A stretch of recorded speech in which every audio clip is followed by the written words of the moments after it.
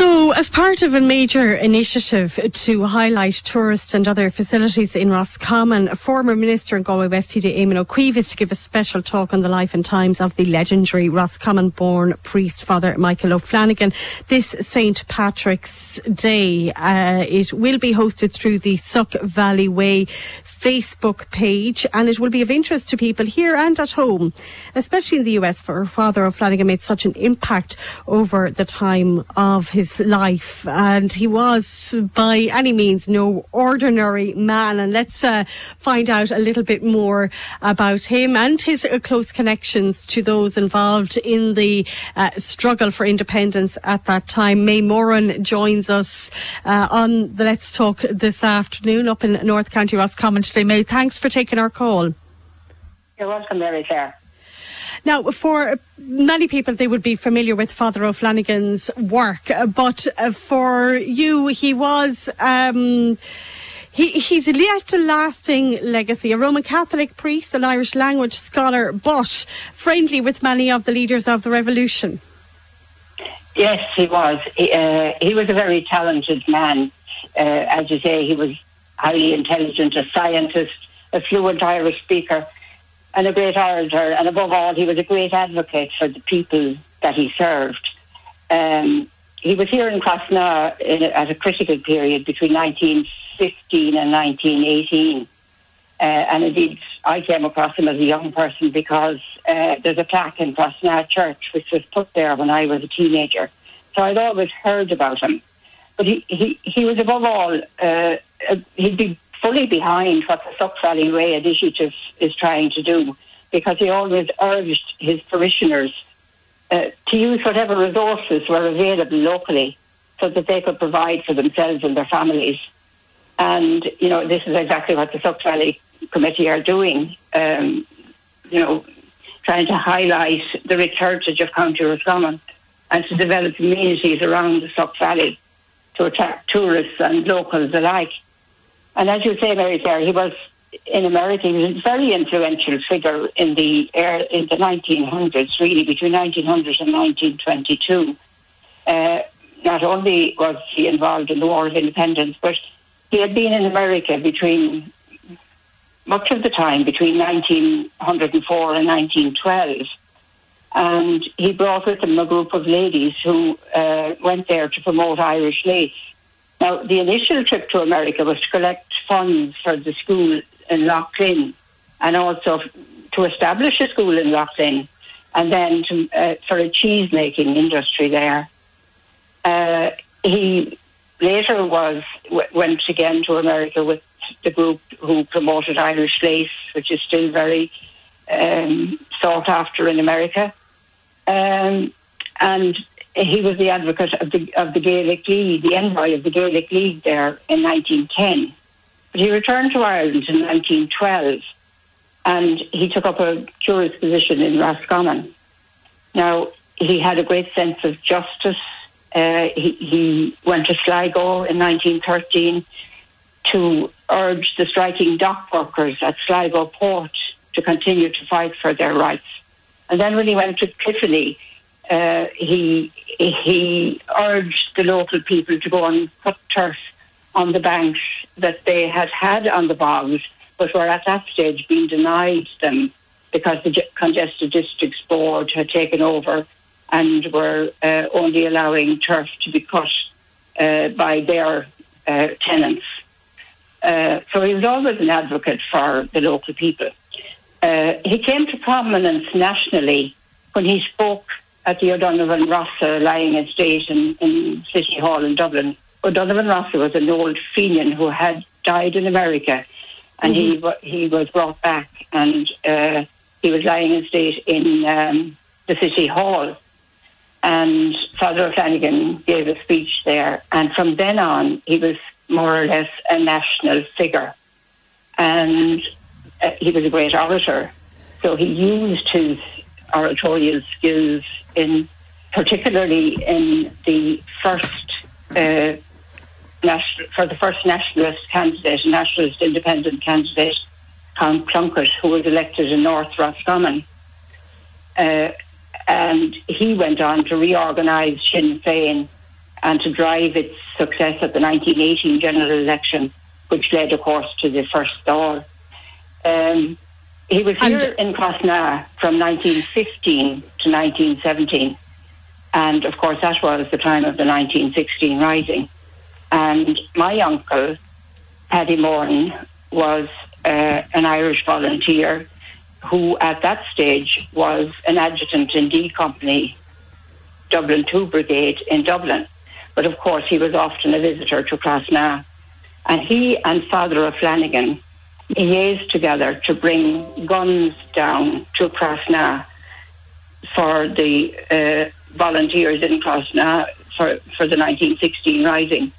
He brought a trunk containing 16 guns, one of which we still have here in this house, um, to Crossna in preparation for the 1916 rising. He got off the train in Carrick-on-Shannon with his trunk because Boyle was a garrison town, so it was easy. Mm-hmm. It would be more likely to be to be he'd be more likely to be held up in Boyle.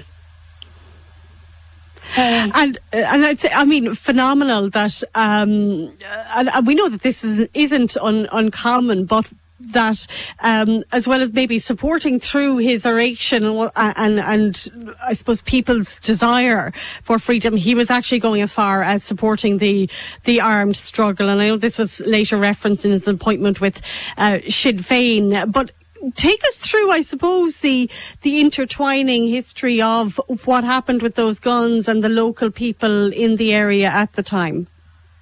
Well, actually, nothing happened because of the countermanding order that was issued by Eoin MacNeill. Uh, what my father said in his statement, he would have been one of the Crossna volunteers, and what he said in his statement uh, uh, to the pensions board was that they were standing to awaiting orders.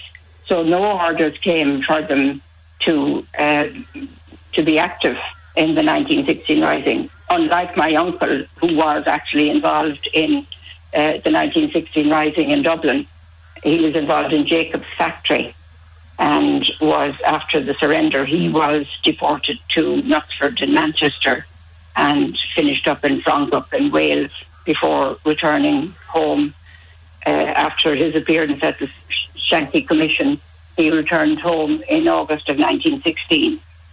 Uh, so nothing really happened in Crossna uh, during the 1916 rising. So the guns, but, the guns were rendered useless.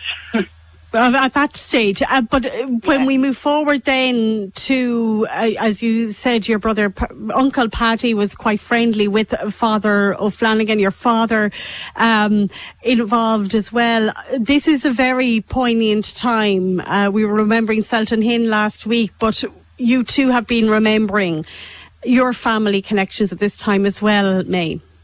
We have, yes, because yesterday was the 100th anniversary of my Uncle Paddy's execution, along with five others in Mountjoy Jail. There were six people executed on the 14th of March in 1921, and my uncle was one of those. Now, he and Tommy Whelan were executed for their alleged part in the assassinations of the intelligence officers on Bloody Sunday, November the 20th, 1920, November the 21st, 1920 um, he, uh, he, was at, a, at, his court martial. He was found guilty of uh, the assassination of Ames and Bennett in Mount Street.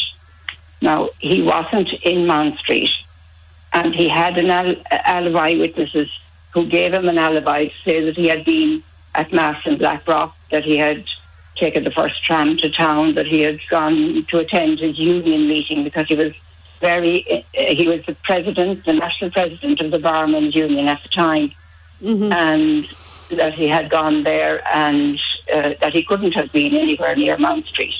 Uh, I subsequently discovered during my research for my book which, about my uncle that he was in fact in charge of the party who went to the Gresham Hotel uh, where they provided cover for the Active Services Union men who shot two uh, agents, well, two supposed to be agents there, uh, Captain McCormack and Lieutenant Wild. Captain McCormack had Roscommon connections. He was married to one of the O'Connors, who at that time owned the Abbey Hotel in Roscommon. And your uncle became one of the forgotten ten, um, but which unfortunately we haven't been able to remember on a on a large scale level this year. No, we haven't. Uh, they were uh, uh, exhumed from their graves in Mountjoy, where they had lain for 80 years, and they were reburied at the full state funeral in Glasnevin Cemetery in 2001. Now, we haven't been able to uh, remember them this year, but fortunately in 2016, we had erected memorial stones to different people in this area under the Carden Remembers um, Committee. And we had remembered all those who lost their lives uh, in that period, those who lost their lives in World War One from the parish, and there were 11, I think, who lost their lives from this small parish at that time. Uh, the RIC men who lost their lives, and all those who lost their lives in the War of Independence, including the civilian Joe Malloy, who was shot while out uh, spreading manure on his father's farm. And we'll have that anniversary coming up just in, on the 26th of March. He was only 15 years old, completely innocent. He wasn't part of uh, the uh, volunteers or the IRA at the time.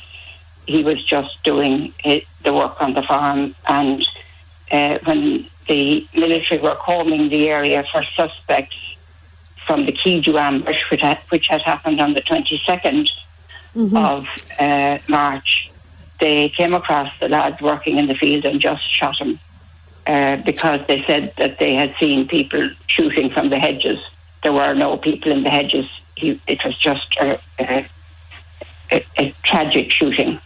May, thanks for your time and for joining us on the programme this afternoon. May Moran there joining us on Let's Talk